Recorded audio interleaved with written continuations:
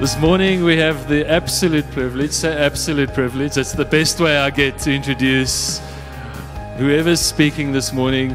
It is Chélene. Chélene, can you please come to the front and can you guys stand and give her a massive welcome to the front?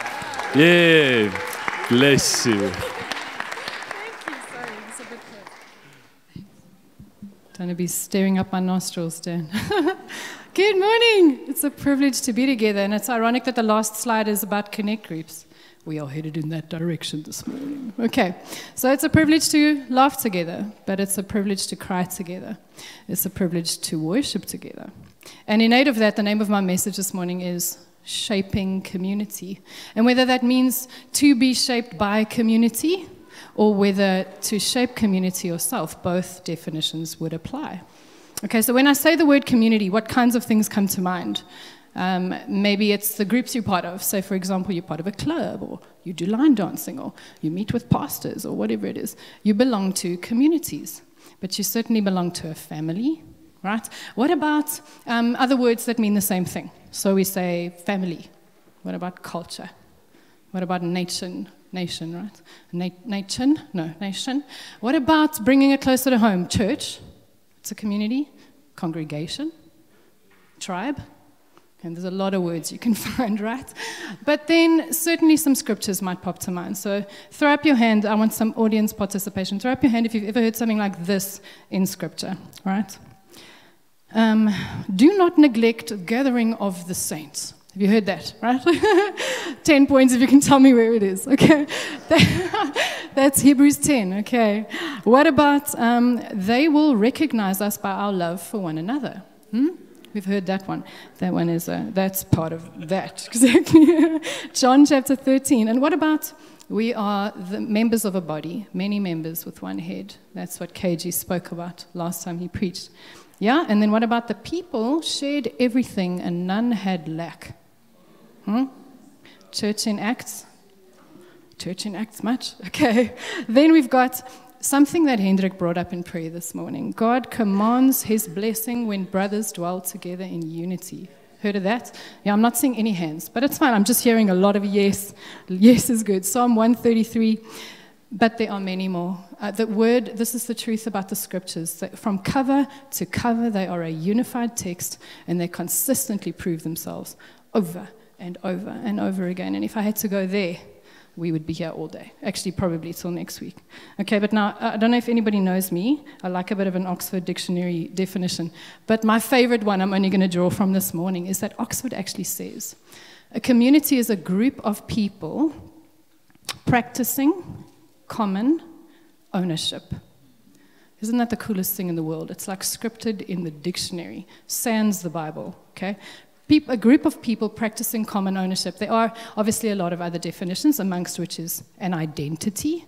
A community is an identity. But today, the word community is all I want to use to reference us as a body, this particular body. If we can go here this morning, I realize there's only a certain representation of us here this morning, but we're a bigger community than this. If everyone had to show up, we'd cover it from wall to wall nearly, right, with all of our kids, and that's a privilege. So, for those of us who arrived this morning, be blessed in the hearing of the word. My heart um, for this message is to draw a picture of how God intended our togetherness to shape us. And when I say that, I mean genuinely his intention was that our being together would show us who he is Okay, so now, oh, this is not news to any of you, but we're going to learn about it in a slightly different lens this morning. So, my favorite scripture recently that's been revamping my heart about it comes from Acts chapter 17. I'm not going to read it to you. I'd love you to go look it up yourself and meditate because actually the translations are vastly different. But Acts chapter 17, verse 25 and 26 will tell you, there you will discover that God created us various races, and it draws on our ethnicity in order that we would long for him and find him. And then it, it, knocks that, it knocks it with a final statement over the, the six. It gives us a six, and it says um, that so that, um, because he is the God who is easy to find, so he's made us many races in order that we would long for him and find him because he is easy to find. How cool is that? Let me take a breath. Okay. Have you noticed, though, when you lump a group of people together in a group, some awkward, unmentionable things tend to begin to happen. I'm just gonna, there's a giant elephant in every room, and I'm gonna shine a spotlight on that thing because it's unnecessary. I wanna show you how things like disappointment, misunderstanding, okay, conflict, what about failure? And the fifth one I'd like to mention is disagreement. How those things can leave us feeling like something's wrong in a community. Have you ever felt that? Get into a space, and the longer you're there, the more used to that feeling you get. But in a family, you don't have the privilege of walking away. you're just stuck with what you got. But in a community like this, you have a choice. You can literally walk away. You could go choose another community. And there you will find another of the five or add to that list. Or we could see it in a different light, and that's what I want to shine a light on this morning. Okay, so my hope is that we'll begin to see those five specific things, although I won't go there again. We're going to shine light on light this morning. But how those five specific things can become opportunities. Okay? See them as doors, access points, through which the Lord wants to reveal more of his nature to us. Because that's what he said. The Act 17 scripture says, We are made different groups or communities so that we would long for him and not walk off in the desert again, and then find him in said community because he wants to be found. Okay, my phone's timing out. I wish I could walk around holding my phone, it's very unprofessional but I'm going to put it down. okay. We would all love that. The treasure inside of us to be unpacked. Isn't that kind of what we desire? We're so excited when somebody else takes off, and sometimes we're less excited when somebody else takes off and we haven't. Those are all markers of what community does to our heart, right? Okay. This morning, I hope we'll begin to see that we can extinguish the fiery darts of the enemy because two things. Our weapons are not carnal, and they are against humans, definitely. Our weapons are for killing humans, right? Zero. We do not war against each other. We war against higher, or different authorities. I won't call them higher, I'll call them noisy. How about that? Things that are distractions from what the actual purpose is of a gathering like this. And it's interesting we should draw from worship. To, you know, to preach straight after the worship is quite a privilege because that led us straight into the throne room and he was speak, we were hearing and, and, testifying of the love of God and the closeness we have with him. But we were not singing about how happy we are that our brother's sitting next to us. We just happen to be lumped in this particular group this morning. But yet he's drawn us to his heart communally. So what we get to do is leave from Monday to Saturday and think that we simply come to church to receive things from the throne. But we, we don't just come for that. We are a representation of the throne. We don't just meet with some far off God, we meet with each other to find Him. Um, again, I know it's not new to you, but I'm saying it in the hopes that it'll spark something in you this morning, or in me as well. This was something the Lord gave me a little while back for my own heart. Okay, so now as we take to the water, there are four questions I would like to walk through together with us. And if you would, won't you jot them down? Or keep a note for somewhere for later, like your Acts 17 scripture. Jot down the four questions so you can take this to any context of a community you might belong in, whether it's your family. But let's deal with it this morning over here, just particular to this church we've chosen. Okay, first question Do I love this community? You're going to personalize it, it's for you. Do I love this community as much as it's for me as well? When I say you, I mean us, the collective. Okay? Second question Do I bring myself fully to this community? Okay. Do I bring myself in my entirety to this community? Number three, do people really know me in this body? Does somebody here know exactly who I am? Okay. And then the fourth one, big question is this community safe in my hands? Okay. Have you got those down? Like I said earlier, the Bible is connected from top to tail. We've known this. The more you read scripture, the more you see it. Every a, apparent conflict is in fact opposite sides of the same coin. God is never in conflict with himself. He's just so manifold and multi layered that if we look at one thing, we think the other one doesn't exist, but yet he doesn't work like that. In Hebrew and ancient texts, they, they write from, and I'm, tell me if I'm wrong, Mom, those with a, de- a degree in Hebrew will say they write beginning, middle, beginning. So in the Western world, we write a story from the beginning we flesh out the body. In fact, we do the body first, then we write the beginning, and then we finish it with a conclusion that reminds us what we were thinking then. But that's actually not how the Bible's written. The ancient texts were written from the beginning, giving you the whole flesh and coming back to what was most important and said first. Hence the law of first mention. So let's go back to question one. I hope that your heart has clarity as we walk through these things. There isn't going to be a lot of flesh around each question. We're going to touch on it, and in the end, we'll draw an umbrella over all of it. Okay. Question one Do I love this community? In answering this question, a lot of us might be tempted to say a particular behavior looks like love. So I should be doing this if I love.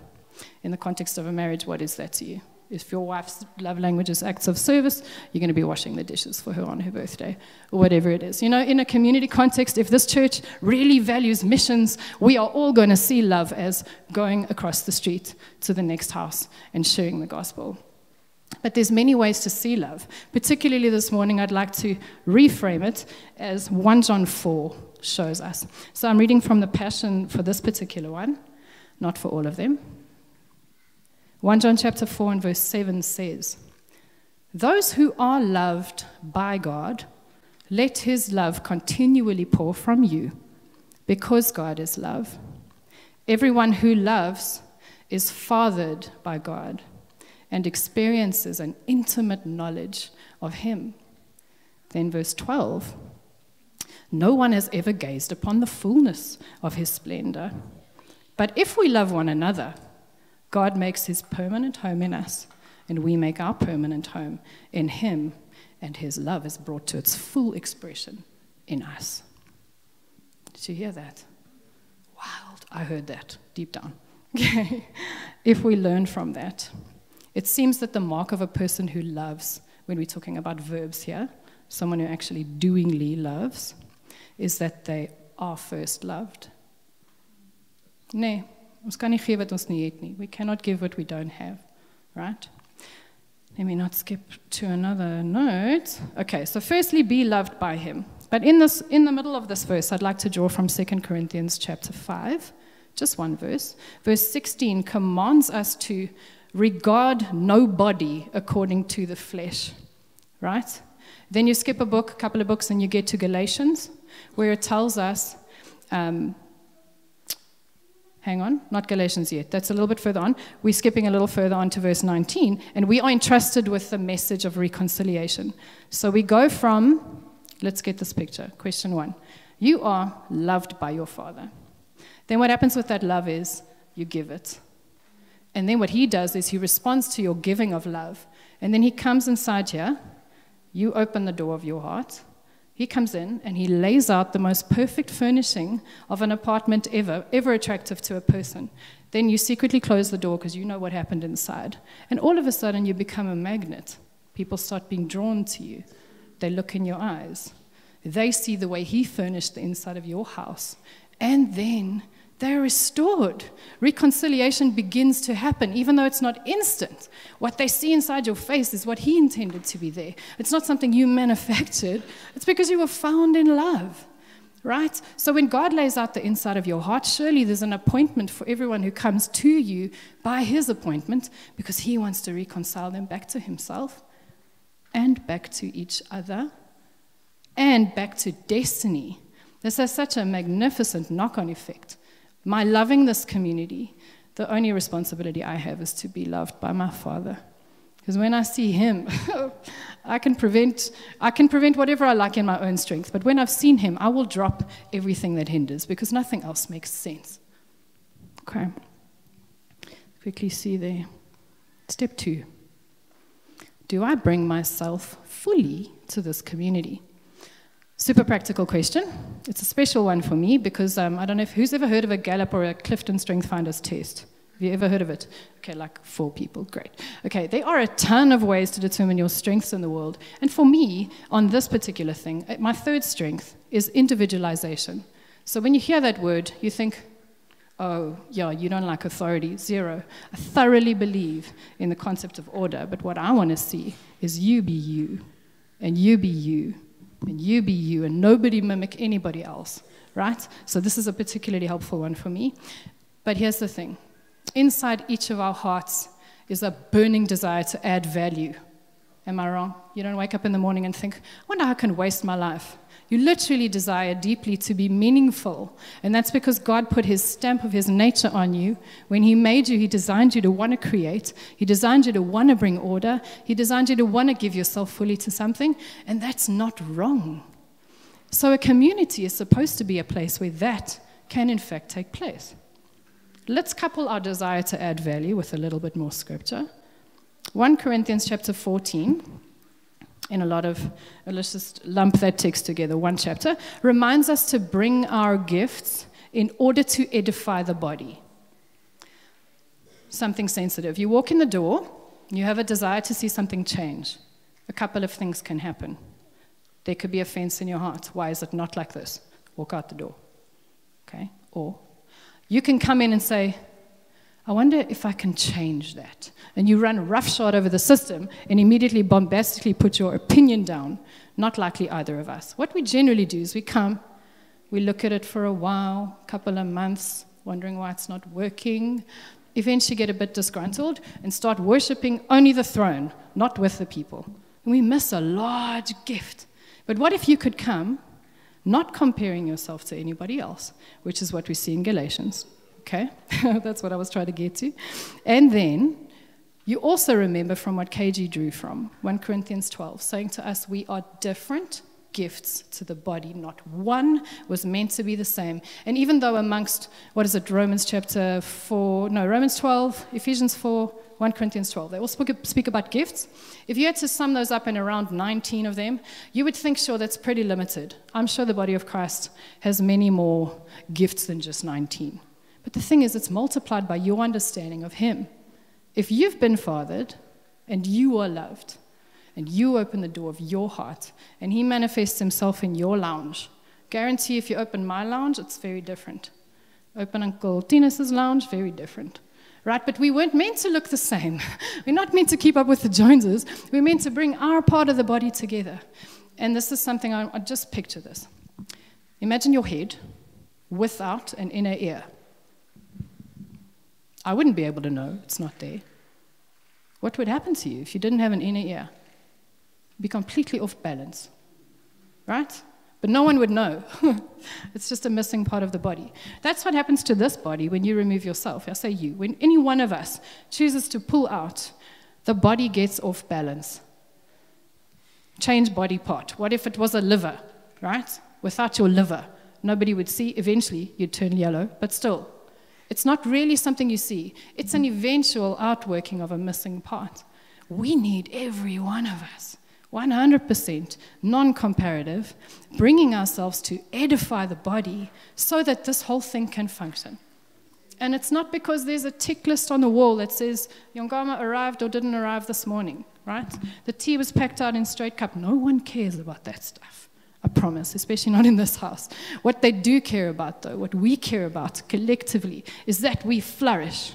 That each of us would flourish. Because if you're planted in the house of the Lord, you are like a tree planted next to waters that feeds many for generations to come. We spoke about bread last time. That's the only reference that ties to bread. Tinus was asking, Are you preaching about bread again? I said, No. okay. We will very quickly take strain if we try to do something we were not designed for. I'm going to share a small testimony and give it 20 seconds about something. I was in a fantastic community in another part of South Africa for seven years. I was on team for three and a half of those years. And I loved it. I was drawn out relationally very, very deeply. It was beautiful. But there were a few boxes you had to tick. And what we learned there is that when there's a gap, you fill it. It's not a healthy way to see the kingdom. Jesus is the gap filler. And if a gap needs to hover a little bit so that the ground, which appears to be fallow, can just lie, so that the next harvest can come, then that's fine. You do not need to fill a space because there is one. You need to fill a space because He said, This is where you go. Okay, this is the way. Walk in it. All right. Question three Do people really know me in this community? Okay, another practical thing. My guess is that many of us have walked into this room at one stage or another guarded or holding back. Because we don't really want to share it. Sometimes to me, if I don't want to share something because I don't want to talk today, that's just how I feel. Okay? We very all feel, we'll say. We do things by the feelings. And then the other thing is, you don't want to be a burden. The majority of you are much nicer than me. You walk in the door and you just don't want to burden anybody. So I'm fine. I'm fine. We've said it enough now. Or you feel like your problem's been going on for enough years. Don't need to talk about that. Am I wrong? Right. I hope you're mostly, mostly really healthy in that way. But there's another thing that could happen. Maybe you've regretted oversharing in the past, possibly been a little vulnerable, and it bit you, Hey, we're all real, all humans. At least in some communities, somewhere, you wish you didn't say something to someone. Okay. But the reality is, we all do need somebody. The truth is, we can't all know each other deeply. You will have your family that knows you, you'll have your spouse, but outside of those relationships, you need at least one friend who loves Jesus more than they love you. So that when you walk in the door and you smile, they're going to see past your smile and text you later.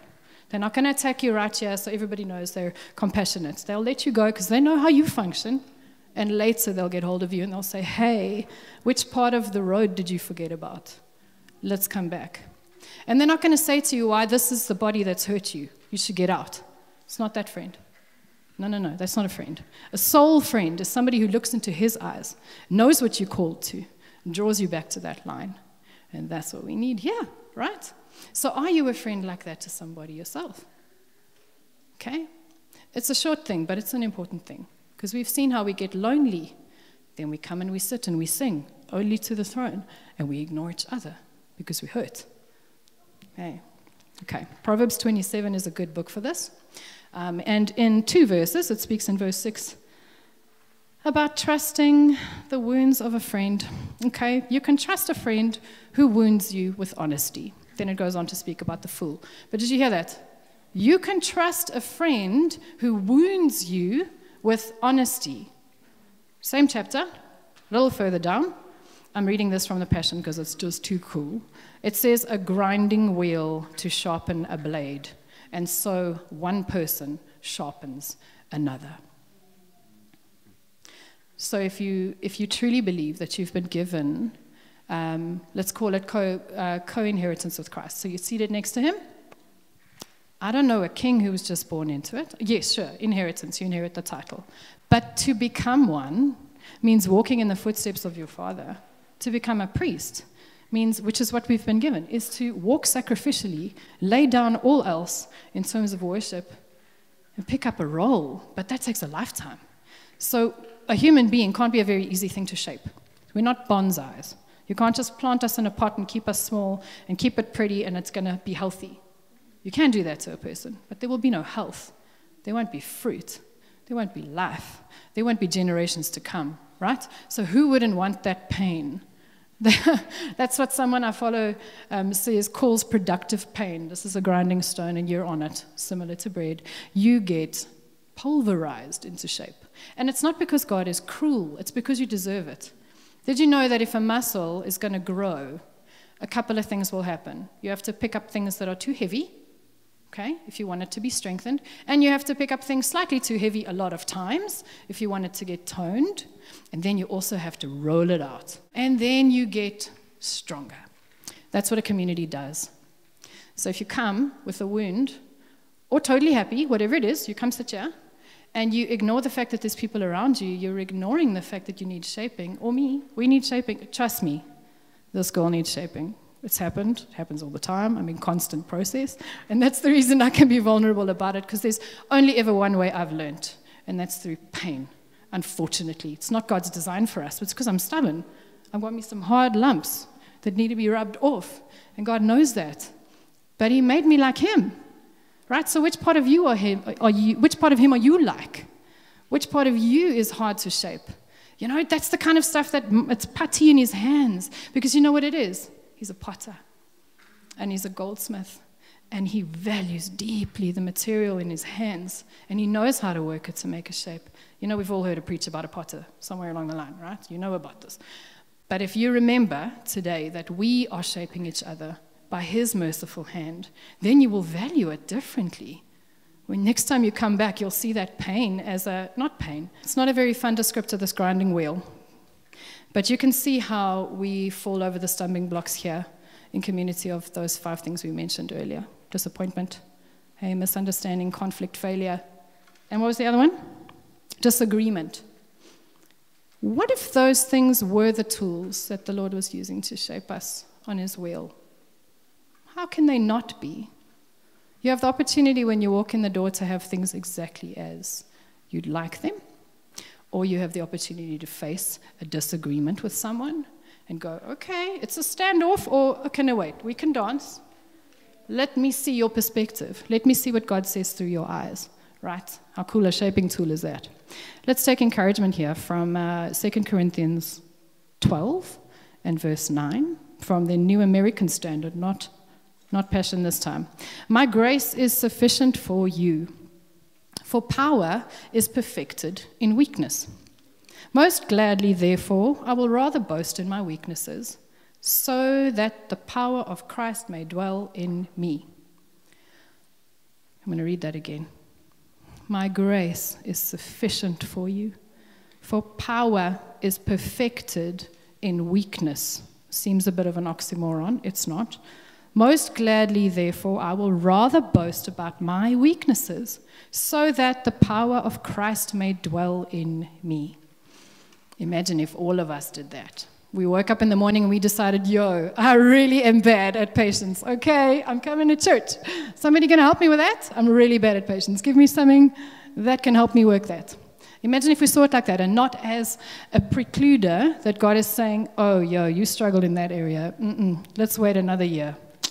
I'm going to sideline you. We're going over here. God doesn't do that. If you're loved by a loving father, step one, do I love this community? If you're loved by him, then you trust him. I don't know, anybody fathering wounds much? We've all, we've all had that, okay? Not really perfect earth daddies, but we know that. He is the perfect daddy. So we've got to get through that stuff and see that when he fathers us, he's, he's inviting us further. He's saying, Don't worry, I'm happy to make my lounge inside of you, even if you're not perfect. And people will come and they'll see parts of me. And as you mature, they'll see more of me. And then we reconcile people to destiny. And then on top of that, what was that other question?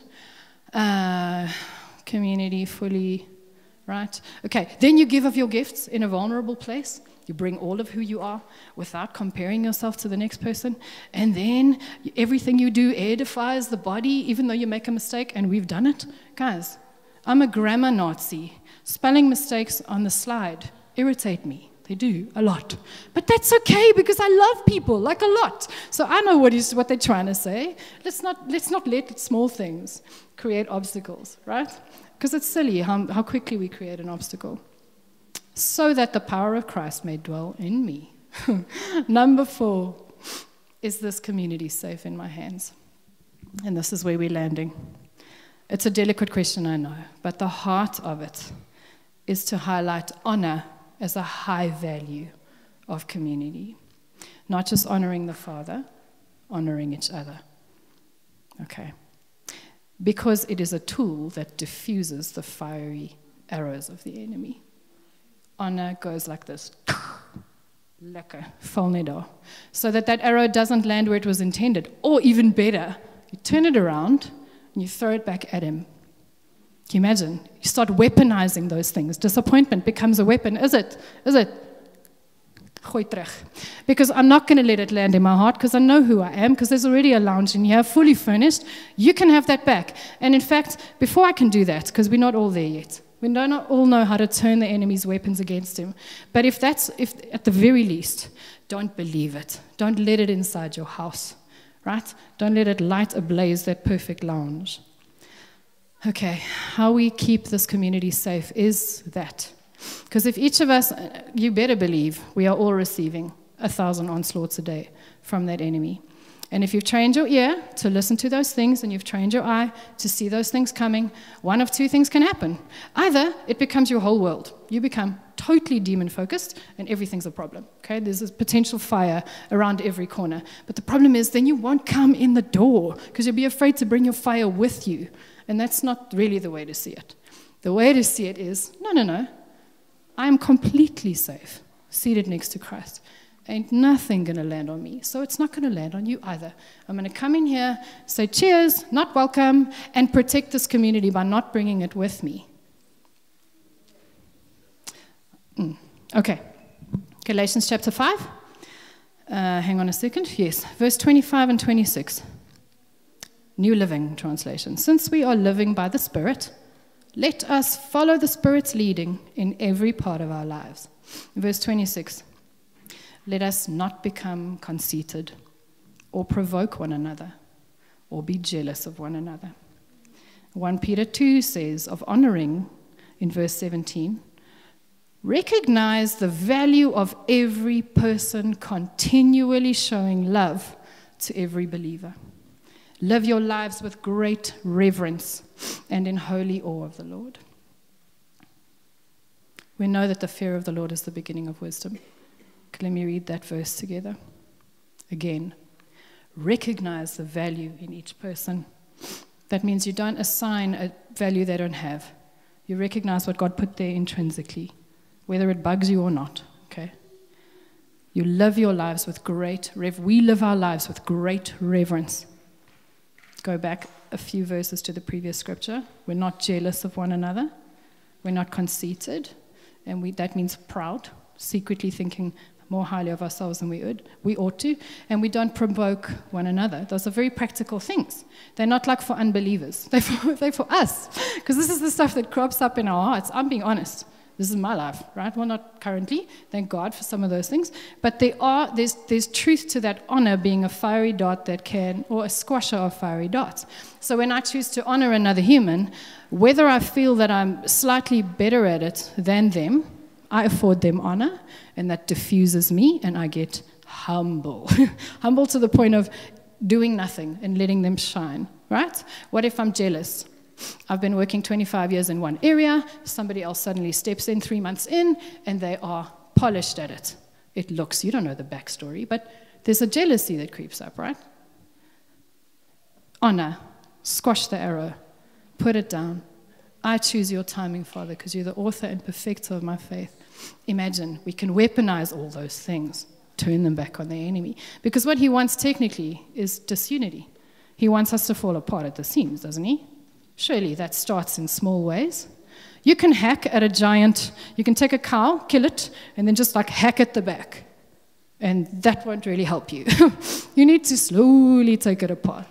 Skin off, in the joints. That's how you work into a community slowly. He's trying desperately to get in in all those little ways, but he can't. If you squash the fire by knowing the truth, the arrow can land nowhere, and then the rest of us are safe. Okay. So let's recap weaving the path together. Number one, love. You receive, you give. He comes in. Then people come. They become reconciled. Step two, you give yourself. Bring who you are completely to edify the body. Don't compare. Each role is vital. Functioning as a whole requires you. Step three be known. Find one friend who loves Jesus more than you. Join a connect group, right? Or start a connect group. Then let down your guard so that you can be sharpened and his power can work through you. Step four become a protector. So live in the fear of the Lord, honor one another, more highly than yourself, than ourselves. Show love. Always being led by the Spirit, because He'll tell you. Led by the Spirit, so that we can truly aim where He is aiming. And that the most important part is that His glory can be made manifest amongst us. Because I see Him when I look at you. And when I look at you, and when I look at you, that that I see behind your eyes, He put there and it better make me tremble. That will give me wisdom. If I recognize in the fear of the Lord, it's wise to see Him in you, I will take traction. Suddenly, ground is gained in my own life, and then in my kids' lives. And suddenly, my body is growing because I am. Come on, it's an unstoppable chain reaction. Okay, so if I may, Dan, to pray. I have a strong conviction about what to pray for this morning. I'm going to slow down. I have a strong sense that there's freedom, freedom to be had this morning. But it's quite specific.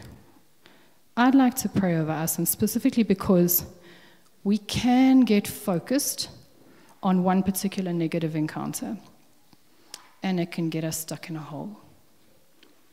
And that hole can become bitterness. Okay? The friends of bitterness, resentment, disappointment, disillusionment, accusation. Okay, so if I'm speaking and the Holy Spirit's highlighting any of those words to you, and you feel you'd like to be free this morning, completely free from any of those things, I'd like you to open, stand up for me or with me and open up your hands because we're going to do two things. We're going to release it and we're going to receive something else in exchange. So I know it's vulnerable, I understand. But if anybody has any inkling of any of those things being meaningful in your heart, please, would you mind standing with me?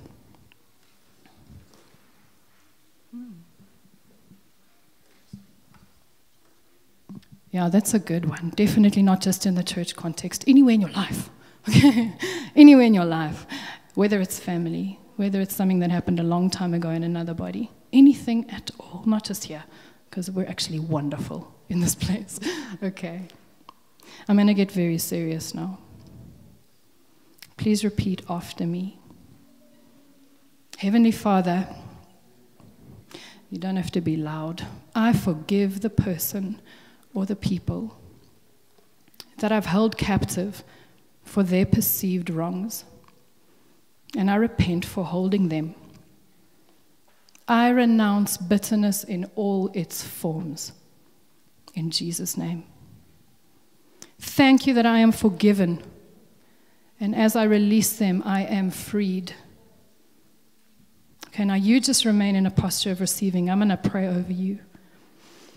If anybody around them feels the need to lay hands, please go wild. This is a, um, an intense time. Father, I bind the strong man of bitterness in this place right now in the name of Jesus.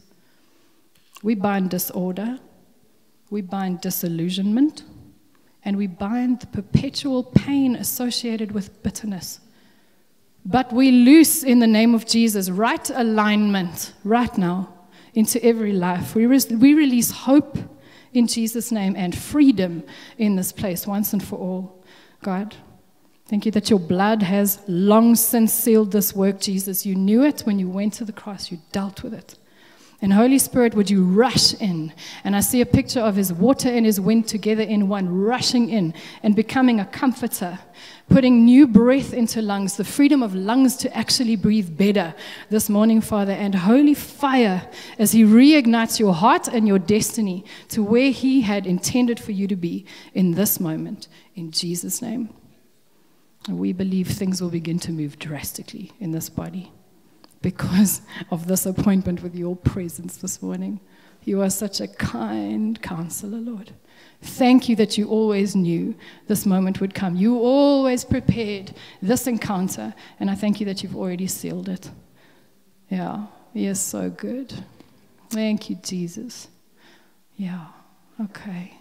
Heavenly Father, thank you for every man and woman that was here, stood up, didn't stand up. Thank you that we love this community. We love communities. We love our families. You're welcome to sit if you're uncomfortable. Thank you so much for your, your moment on the 22nd of September 2024 with our hearts that released us into a freedom to come for generations.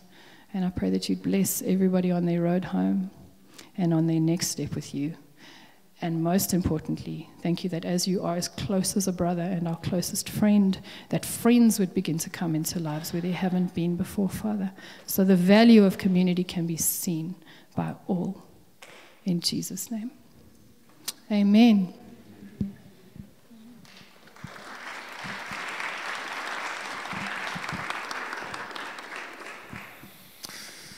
Thank you so much, Chélene. Yeah, just if there's uh, if there's any doubts, the Lord says here, He says, He brought me forth into a large place. He was delivering me because He was pleased with me and delighted in me.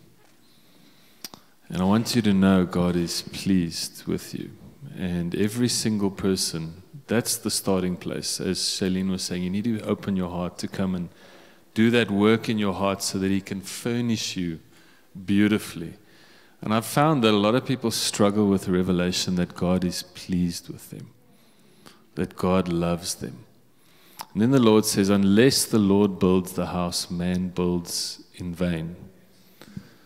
And God builds the house, God builds the community, and He builds the house through His love, through bringing us into a large place. And that's what God wants to do. He wants to bring us into a large place through the revelation that God is pleased with us. Isn't that amazing? And then in Galatians 5, just at the end here, it says, Be mindful to be a blessing, especially to those of the household of faith. See with what large letters I'm writing this with my own hand. Be mindful to be a blessing. I want to bless this household this morning to experience God's love, His fullness, and rest. Take that victory this morning, that victory over bitterness. Take that, throw it away, throw the bitterness away, and dwell in the fact that God is pleased with you, because that takes all bitterness away bless you. May you have an incredible Sunday. Enjoy a cup of coffee, a cappuccino, an incredible brownie, and we look forward to seeing everyone next week. Bless you guys.